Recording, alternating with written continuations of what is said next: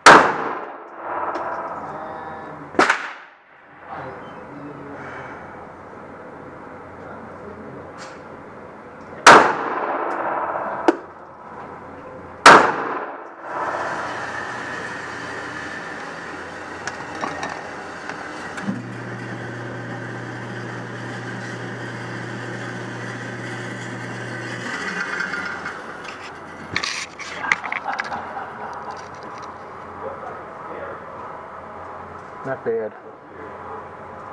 I can live with that.